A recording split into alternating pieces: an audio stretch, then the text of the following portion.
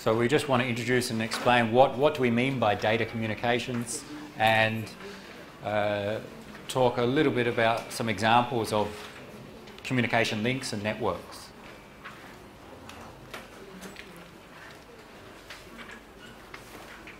What do we what is data communications? We when we're communicating, what we're doing is sharing information. That is, when I'm talking to you or lecturing to you, then the idea is that I'm giving information to you. When we're talking face to face, that's local sharing, local communications. Of course, we can share across a large distance. Many of the examples of computer communications is sharing information across a, a large distance, for example, across the globe, between cities and so on. Sometimes we'll use different techniques depending upon the distance at which we want to communicate. So communications, sharing information. Data is the information being shared. And the common forms of data or information we want to share are text, files, numbers, images, audio and video. So they are examples of data that we want to share. We're going to focus, of course, on computer communications between computer devices, not between humans. So data communications can be defined as the exchange of data between two or more devices via some transmission medium. So exchange of data such as text, images, video, two or more devices. We need at least two. We're sharing between one and another. In fact, we can share between multiple, more than two devices. The most common example we think of, of communications is I send from one computer to another. Okay, that's two devices. Maybe we have a link, a cable between one and another.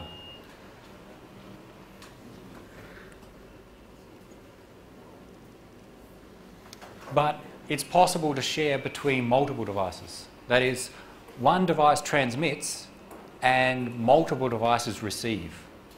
So although many examples we use and think of will have just two devices communicating, one to another, we can have one to many communications. So between two or more devices. Exchange of data between two or more devices via some transmission medium. The transmission medium is the thing between the devices. If I connect my laptop to this PC via a cable, and that cable has copper wires, then that's the transmission medium. We transmit the data across some medium. So in general, we can select different types of medium, media. So we will look and have one topic about different examples of transmission media. Wired, like a LAN cable, wireless, my laptop to the access point using wireless transmission, and different types of wires. Copper wires, optical fibre, coaxial cable are three examples. So that's what we mean by transmission, a transmission medium, the thing between the transmitter and receiver. So we want to share information between computing devices. How do we do that in an effective manner is one thing we're going to focus on in this course. Well, what do we mean by effective? What is it when our communications works well? How do we measure that? Three main metrics, three main measures for effective data communications. Delivery, accuracy and timeliness. If I'm sending data from one computer to another, that data needs to be delivered to the correct destination. That's almost obvious. If I send it to someone who is not intended to, then that's ineffective communications. It's bad. It doesn't work well. When I send data, the data that's received should be an accurate copy of what was originally sent. I send from my computer to a web server on the other side of the world. What my computer sent and what that web server received should be the same. If they're different, then we could consider that as inaccurate communications. It's ineffective. And timeliness. The data should arrive at the receiver on time, within some reasonable time.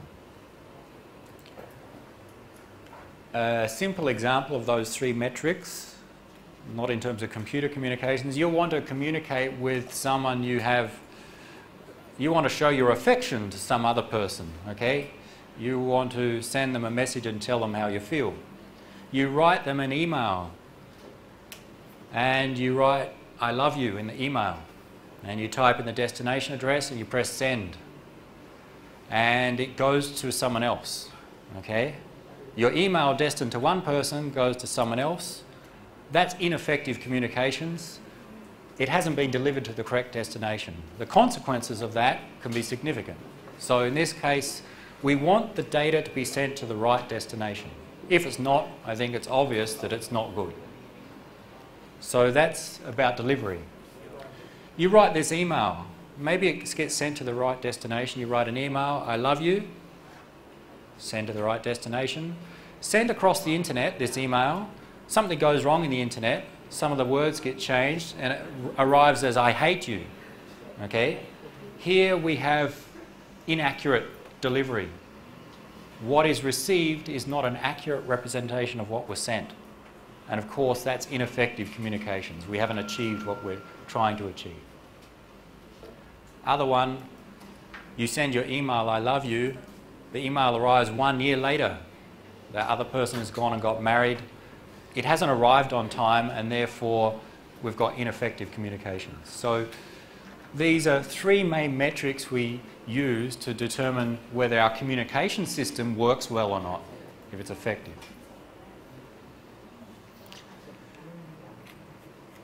Some of the things that you've probably used or techniques that uh, you've seen which are related to these delivery in the internet, for example, to deliver information to the right destination, we need addresses. You have email addresses. They identify your email box. We have domain names, www.facebook.com. When I type in facebook.com into my browser, it tells my browser the destination server that I want to send data to. So addressing is a key part of accurate delivery. And there are other mechanisms involved as well. What about accuracy? Accurate delivery depends upon the data. How do we measure accuracy? An email, if I compose an email, I type in the words, press send, what is received at the recipient's computer should be an identical copy to what I typed in. Okay? The words should not be changed. That would be accurate. If there was a spelling mistake, for some reason I typed in some words and different words arrived at the receiver, that's inaccurate. So it needs to be an exact copy of what was sent. Well, what about your streaming a video from YouTube web server?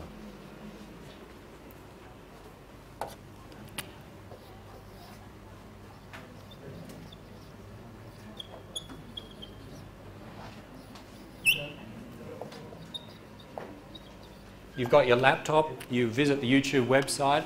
How that works is that on the server somewhere at YouTube's uh, premises, they have the video, okay? And with streaming video, they just send you the video. So this is data communications. They're sending the video from the server to your laptop and you're viewing the video on your laptop. With video and audio communications, it's possible that even if what is received by your computer is different from what the original video was, you can still make sense of the video. video. You can still watch it and it will still be considered accurate. For example, you're watching a video, it's high quality at the server, it's being sent, but there are errors in the network such that some portion of the video is lost. It doesn't get to your laptop. You may not notice that when you play back the video. Maybe it's just one pixel in the far left corner, or the top left corner, that is the wrong colour. Displayed for a fraction of a, cent, a second, you would not notice that. Your eyes would not notice if there's one pixel wrong. If there is hundreds of pixels in the video wrong, wrong colour, and for a long period of time, you'll start to notice that when you play back the video. Okay? So in terms of video, sending video or audio across a network, even if what is received is not exactly the same as what was sent, we still consider it accurate. So with some types of data, accuracy means the receiver gets exactly the same as what was sent. With other types of data, it doesn't have to be the case. We can tolerate some differences. So accuracy depends upon the data that we're sending. How do we measure it? Uh, depends upon the data and the application. We'll see some examples of that uh, in some later topics. Similar with timeliness depends upon the application. You send an email uh, to your friend. What time do you expect that email to take to get to the destination? Anyone? Give me a number. How long do you, are you willing to wait for your email to reach the destination? Hmm? Three seconds, several seconds? What if the email arrived one min minute later? You type in send, your friend gets it one minute later. Is that okay? Would you be upset? No, that's okay. One minute. I think with email, sometimes the delay may be several minutes. So you press send. In many cases, it's seconds. In some cases, it's minutes. In bad cases, if there's some problem in the network, you could receive an email hours after it was sent even days in the worst cases. So in email, the time from when it was sent and received is in the order of seconds up to hours even. What about you using MSN or an instant messaging application, a chat application? You type in some message, press enter, sends a message to your friend. How long can you tolerate of a delay? If you're using instant messaging, MSN, a chat application, how long do you think it should take to get the message to the other person? Se two seconds, several seconds. Instant messaging, sending messages instantly to the other person. Instant means order of seconds. If I'm using a chat application and I press enter and it takes two minutes to get that message to the other person, then the application is not working correctly. So timeliness, timeliness depends upon the application. This is a problem with our video. Different applications have different requirements for what is reasonable time. We'll see some examples of them over the, the next few topics. So we want to share data between computing devices. We want that to be effective, delivered correctly, accurately, within a reasonable time. Often when we want to look at the problem of communications, we can consider the system as some model, some block diagram. Here's a simple model of communications. Five blocks. The first two blocks are part of the source system, the one that wants to send data. And the last two blocks are part of the destination system, the one that are going to receive data. And in the middle, we have the transmission system, the thing that gets the data from source to destination. So a very simple view of communications. The source block generates data. So this is the thing that generates data, whether it's an application, a computer, some software, the source generates data. Maybe it's the application on my computer generates the data to send to a web server, so the web browsing application. It generates data. The transmitter, which is also in the source system, takes that data and converts it into a format that can be sent across our transmission system. And what we send across a transmission system is signals. So if my laptop wants to send to this computer, then my application and computer generates some data. Inside my laptop, I have a transmitter. If I'm using the wired Ethernet, my, my LAN card has a transmitting device. If I'm using Wi-Fi, wireless LAN, I also have a wireless LAN transmitter. What it, the transmitter does, takes my data, normally represented as bits, zeros and ones, and creates some electromagnetic signal that we can send, some electrical waveform, some radio signal. sends them some signal. The transmission system carries that signal from source to destination. The transmission system may be a single link, it may be a set of links, more complex. A receiver takes the signal that's received, converts it back to data. Let's say we receive some electrical signal, some waveform, we convert it back to bits, zeros and ones. Then the destination block consumes that data. It takes and uses the incoming data, maybe response. So just five basic components of a communications. Generate data, transmit that data by converting it to signals. Signals are sent across the transmission system. The receiver receives signals, converts it back to data, and the destination receives the data and does what it needs to do.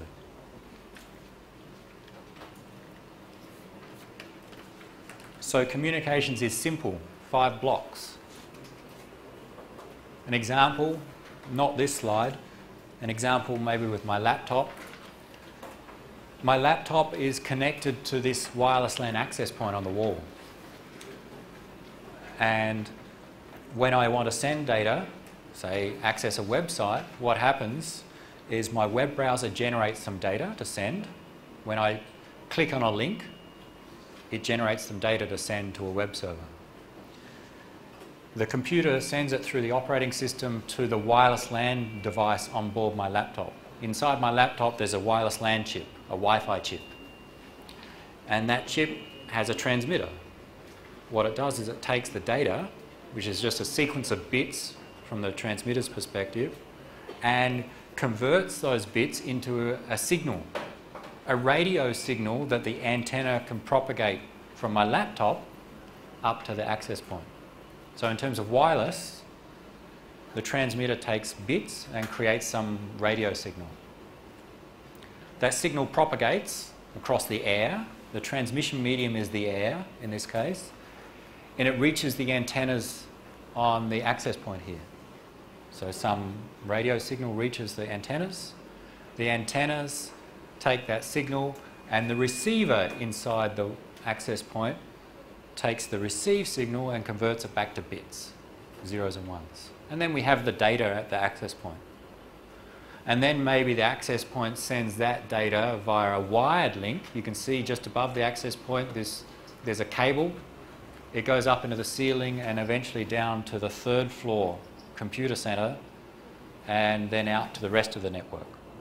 So similar, the access point can send that data as an electrical signal across these copper wires to some device downstairs, which then sends it on and on to wherever the destination is.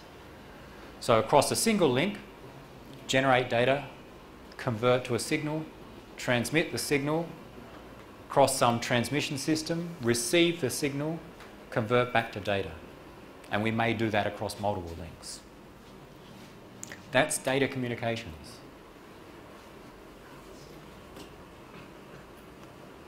Viewing it from that perspective, it looks simple. We have five blocks, convert data to signals, send, convert back to data.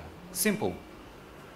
The problem is to do that effectively, for effective data communications, there are many different things involved to make that work well. The point of this slide really is that even though our five block communication model looks simple, to make it work well is very complex. There are many different tasks to achieve, and some of them are listed here. There's an access point in this room, there's another one in the other lecture rooms, and there's one out in the corridor and some downstairs.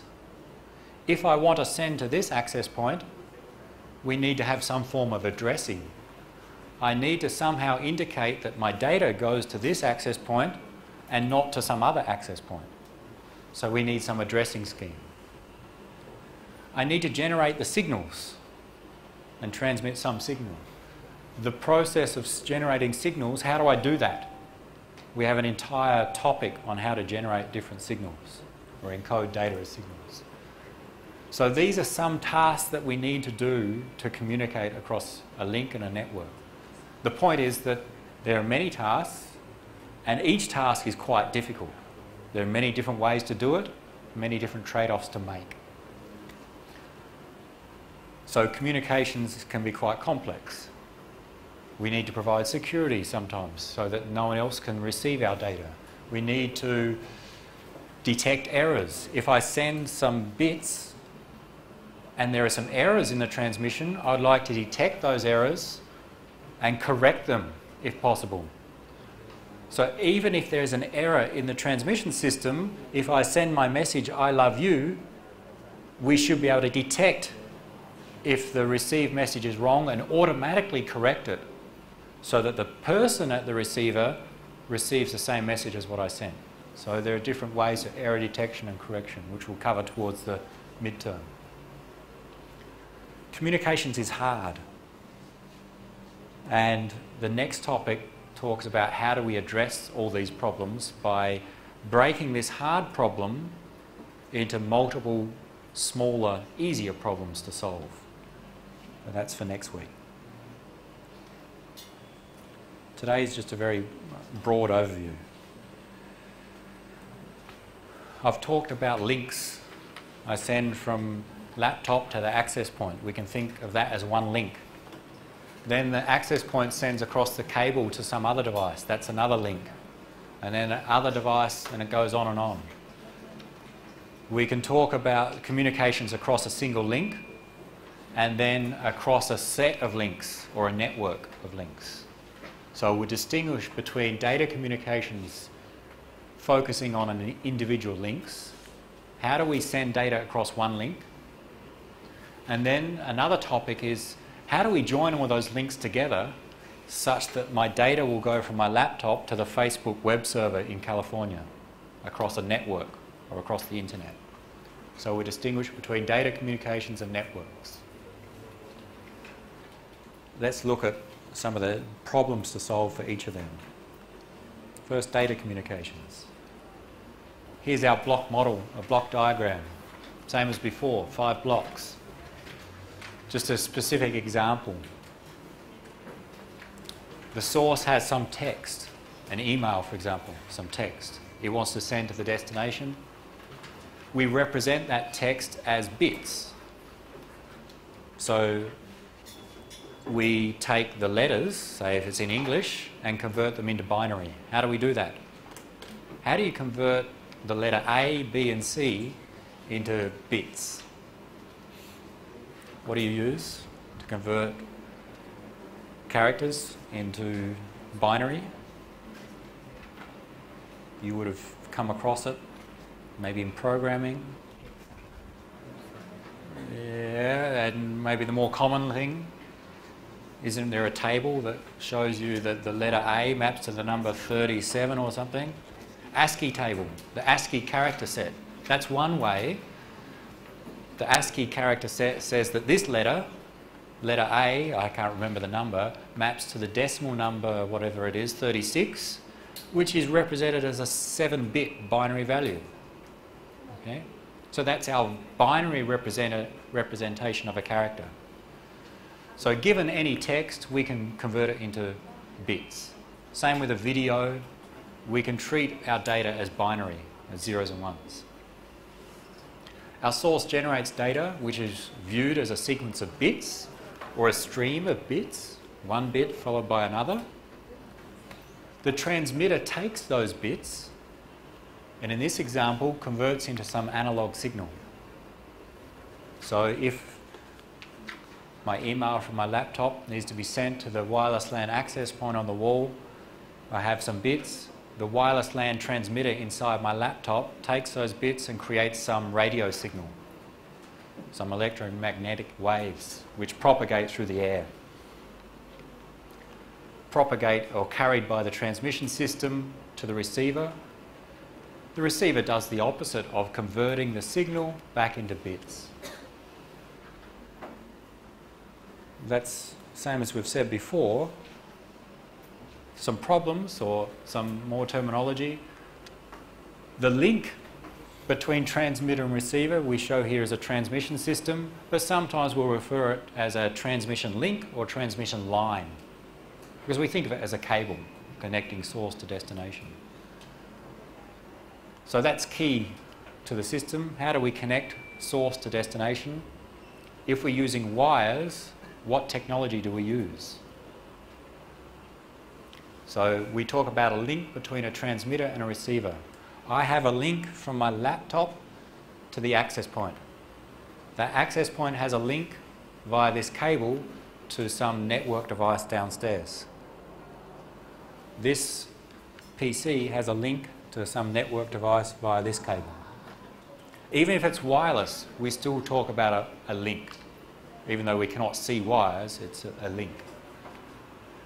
When we choose a technology for that link, the main things we care about are the capacity of that link, reliability and cost.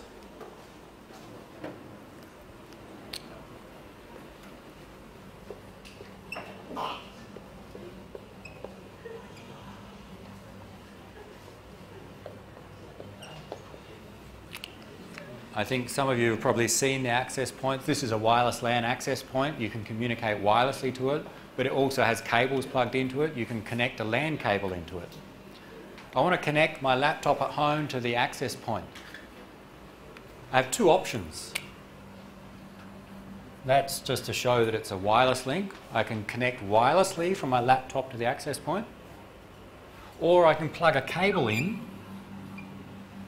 to my laptop a LAN cable and plug it into the access point. Which one's better?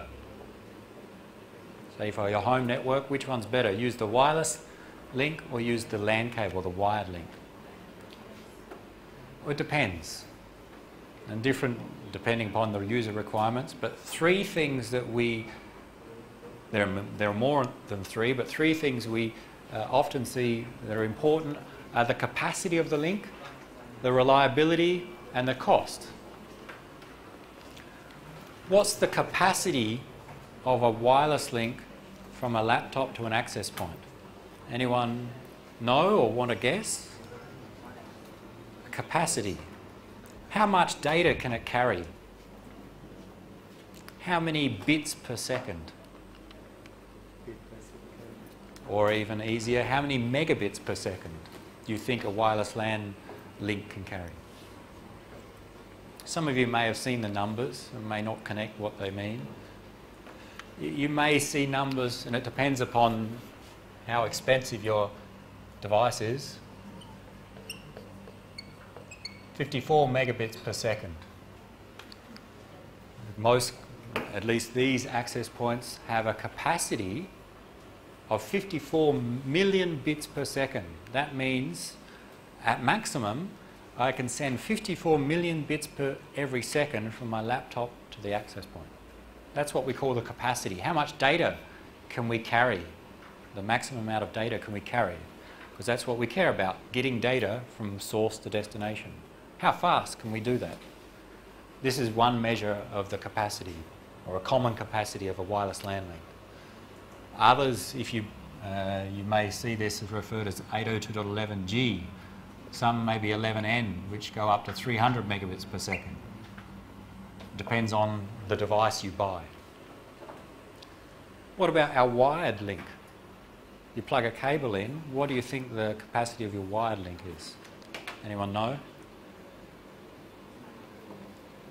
How fast can you send across a LAN cable? 100 what? 100 megabits per second is a common one.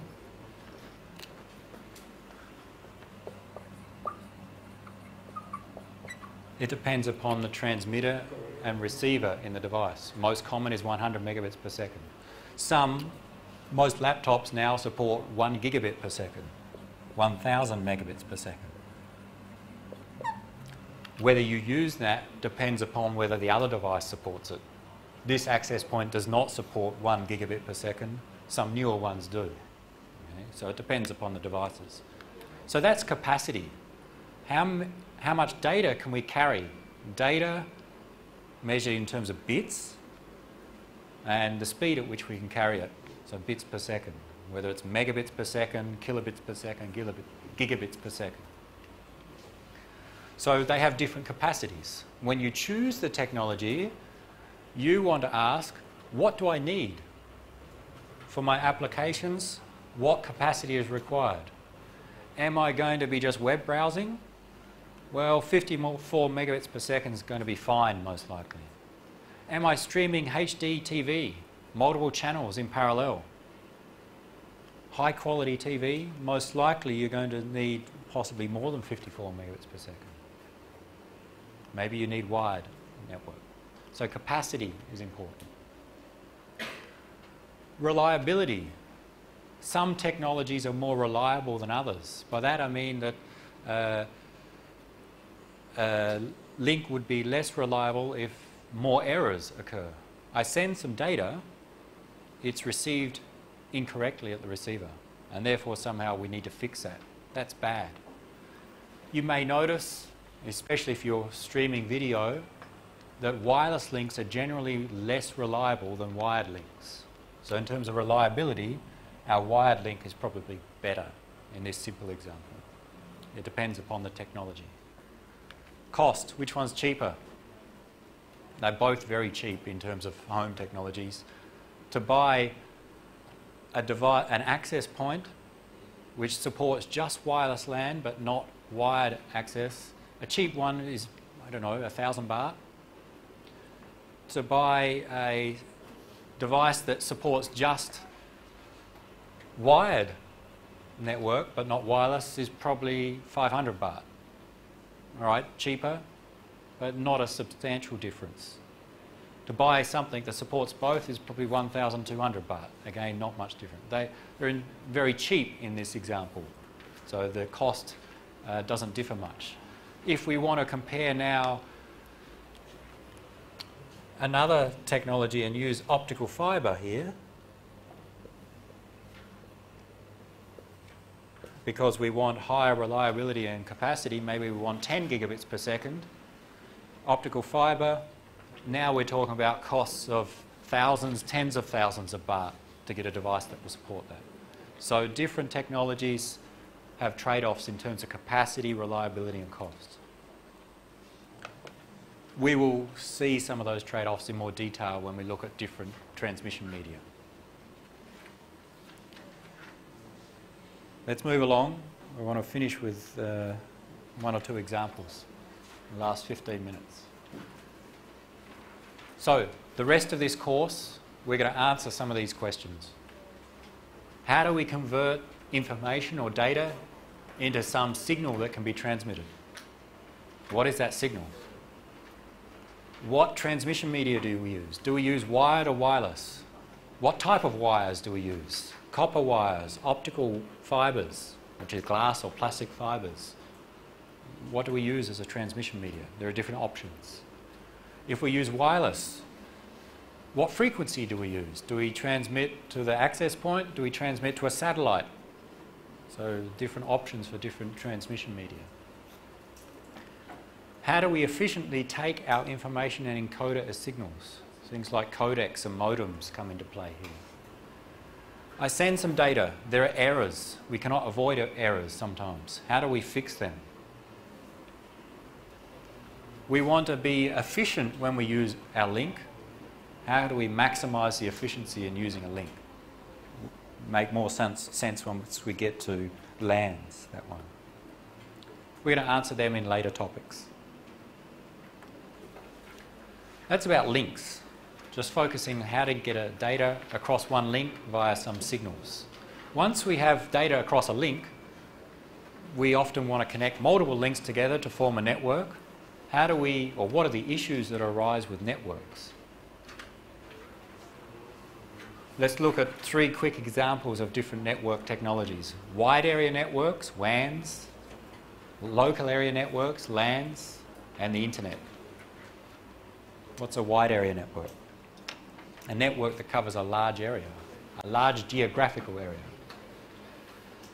We're talking about networks that cover across cities, between cities, between countries, and across the globe. that's generally when we refer to, or you hear wide area networks, that's the area we're talking about. SIIT has a wide area network connecting this campus to the Rangsit campus. It's across a city, all right, uh, across 10 or 15 kilometres. So that's considered a wide area network. Inside this campus, connecting the PCs, the laptops all together, we consider a local area network. Within a campus, within a building, a LAN, between buildings, between campuses, between cities, a wide area network. Different technologies are used and they have different requirements. A wide area network normally requires crossing public right-of-ways. What that means is that normally it needs to cross other people's land. Consider SIIT wants to build their own network that connects the two campuses. That is, they want to lay a, lay a cable that goes from this campus across the ground to the Rangsit campus. To do that, they would need to get the permission of all the landowners in between the two campuses. That's complex. You need to go to everyone and get permissions to dig a hole in their ground, maybe under their building, to put the cable in. So normally it's not the end customers like SIIT that do that. There are special companies that it's their business for building such networks, telecommunication companies or common carriers. TOT, CAT, and all the smaller uh, internet service providers do this. They build wide area networks. And then what they do, they lay the cables, they get permissions to pass other people's land, and then they rent that wide area network to customers like SIIT, to companies and to individuals. So a wide area network is normally operated by a telecommunications company who then rents that network to other users. SIIT rents can rent a network to connect the two campuses together. Pays per month to carry our data across their network. Some of the questions we'll cover, and mainly after the midterm, is how do we find the best way through a network? I want to connect from my computer to a computer in the US. I can go via the Pacific, I can go via Europe and the Atlantic Ocean, there are many different paths. Which one's best? It's one thing we'll try and answer. How do we get the data across that network? We'll look at that. Some technologies which are used in wide area networks include asynchronous transfer mode, ATM, frame relay, SDH. We'll mention them later. That's a wide area network. A telecommunication company builds a network, usually across a city, between cities, and rents it out for others to use. A LAN covers inside a home, inside a building, across a campus. Usually owned and operated by the organisation owning the end devices. SIIT owns all the PCs. SIIT builds their own LAN inside this campus. They own the cables, they own the network devices, they operate the network, we, or we operate the network ourselves. We don't pay someone else to operate our LAN. We pay someone else to use their wide area network. As a result, there's different trade-offs in terms of the costs and, and what technologies to use. Some of the questions we'll answer, and again it'll be after midterm. How do we arrange nodes in a LAN? I've said that this PC, or you can see in fact, the PC has a cable coming out of it, a LAN cable, goes down, it goes into the, a socket in the wall here. You cannot see that. Same, this access point has a cable coming out of it, going to the ceiling, it goes somewhere. How do we arrange, where do they go to those cables? Do they go to one central device? Do they go to every other device? Or what? That's something about the arrangement of nodes two technologies that you probably use on a regular basis, Ethernet, wired LANs, and wireless LAN or Wi-Fi.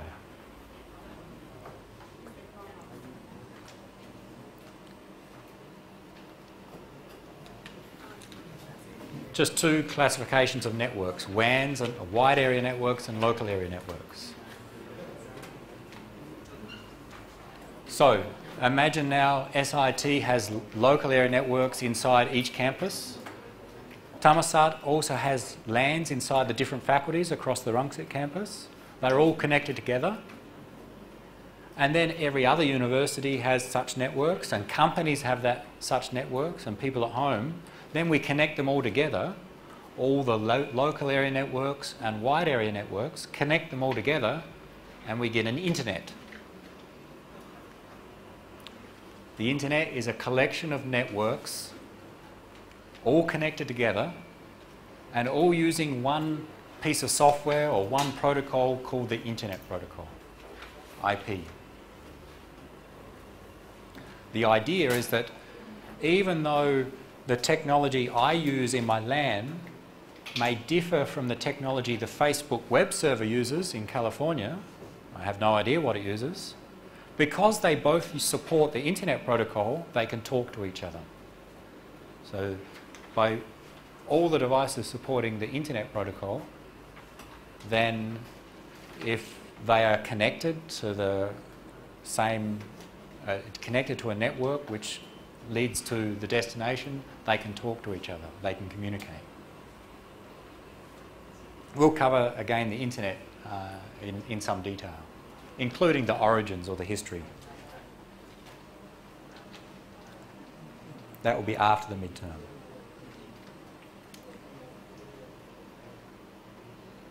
Let's give an, there are several examples here, uh, just example networks.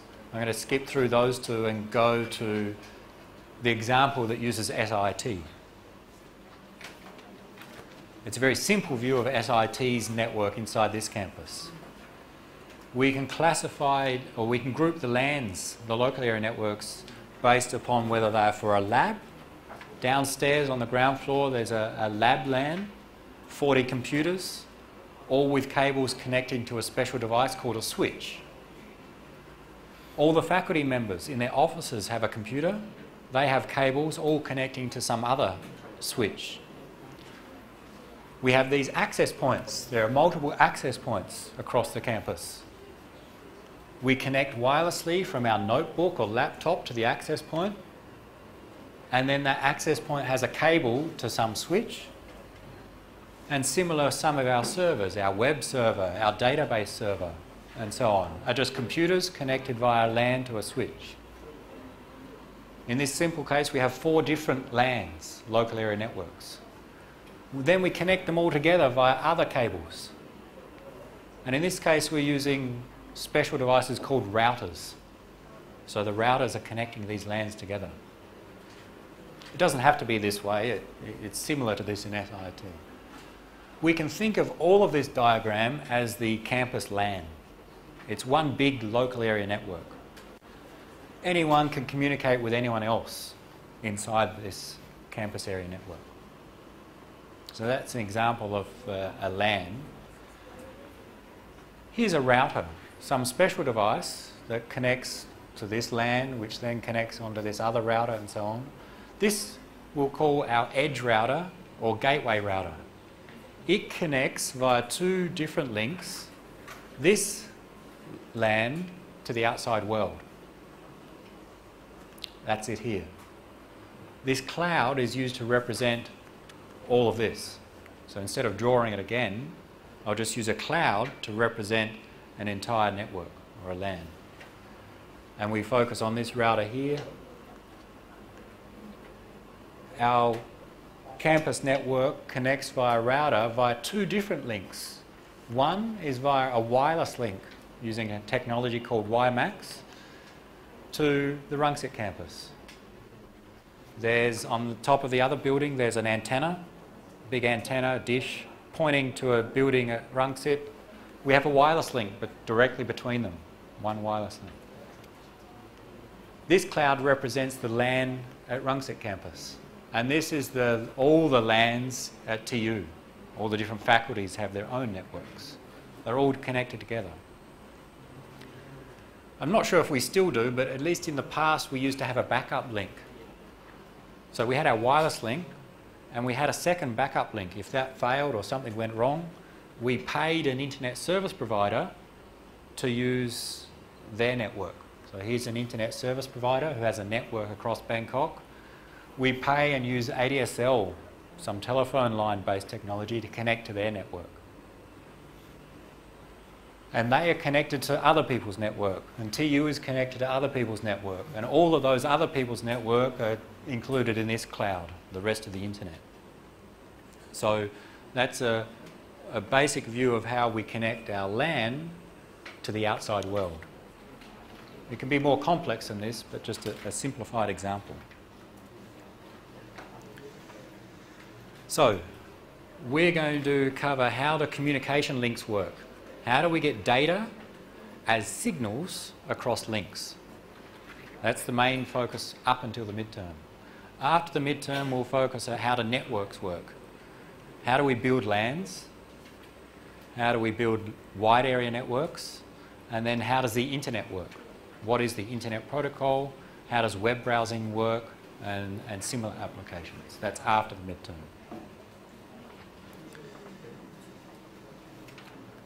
The last example, and you're going to look at that over the next week because I want to do something else before we finish in the last five minutes. This website has a map of the internet in Thailand. It's a complex picture. There's two pictures, in fact, a domestic map and an international map. Have a look at that. See if you can make any sense of it. Next week, we'll look at it in a bit more depth and explain some parts of it.